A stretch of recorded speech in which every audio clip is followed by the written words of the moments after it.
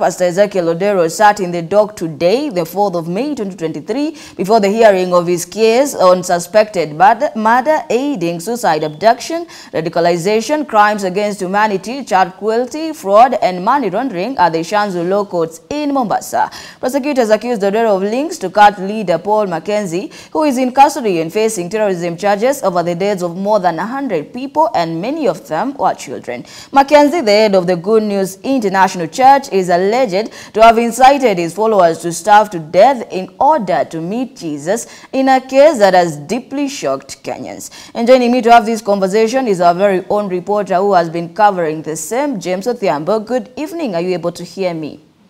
Yes, good evening, Betty. I can hear you pretty well. To kickstart with this conversation, James, you could tell us Pastor Ezekiel has been released today. On what grounds and at what terms? You, Betty. So, Pastor Ezekiel was arrested on the 27th of April on Thursday, and he was facing various charges, including murder, money laundering, abduction, crime against humanity, and many more. And uh, today, uh, Betty, he was released on a bond of 3 million or a cash bail of 1.5 million. So uh, the, the terms of his release are he should be reporting to the police station once a week, Betty, and uh, the time to which uh, they will agree upon, right? And also, uh, he is also barred from commenting on the Shakahola massacre, the ongoing saga currently. Yes, Betty. Thank you so much. And maybe because you have been going through the same, you could also tell us and paint for us a picture some of these charges that he was linked to and just give us further information on the same. But as I've mentioned, um, Pastor Odero was uh, charged with uh, abduction, crime against humanity, money laundering, murder, uh, child cruelty, and uh, th those were some of the charges that uh, he, he was facing, Betty, and uh, uh, we, we, he had a very strong legal team that helped him to, to go through the cases, and uh, yeah, uh, what we saw today, the court releasing him on bond. Maybe you could also tell us what of Pastor Mackenzie, because he's the main culprit of the Shaka holidays. What is happening on his end so far?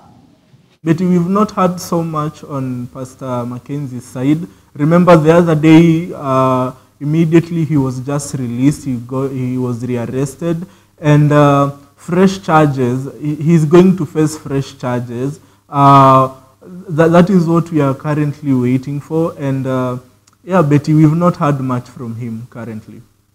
And what are people saying? What do they make of this issues and what are the, some of the political addresses that have been addressed? Um, okay, Betty, um, people have been really sympathizing with Pastor Odero and uh, we saw throughout the court process his supporters, his followers uh, paraded outside the court singing praises, songs of praises, just uh, to, so that the man of God can be let free. And uh, it's not only his followers, surely uh, the social media, like people, people are really sympathizing with him. Maybe uh, the, the court, uh, and also people, there are some speculations that uh, he had links with top government officials, uh, maybe that uh, made the court to make the ruling. But so far, Betty, um, Pastor Ezekiel has a mass following and until the investigations are over, uh, we, we will get to uh, get to the root of the matter, Betty. Yes, and now thank you so much for that detailed answer.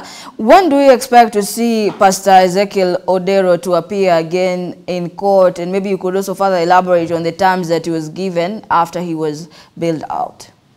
Uh, okay, Betty. Um, Pastor Ezekiel today when he was being released on the bail, on bail terms. Um, the, the investigations are still ongoing. Remember earlier the, the, the police wanted the court to detain him for 30 more days as the investigations are ongoing, uh, which uh, the, the court was unable to grant them. And so the investigations are ongoing, Betty, and uh, until the investigations are done, that is when we shall see uh, Pastor Ezekiel Odero again, maybe going back to court. Uh, the terms, Betty, as I mentioned earlier, uh, he should go, uh, he should visit the police station once a week, and uh, he, he- is barred from commenting on any, any, uh, on anything on the matters of Shakahola ma- massacre, Betty.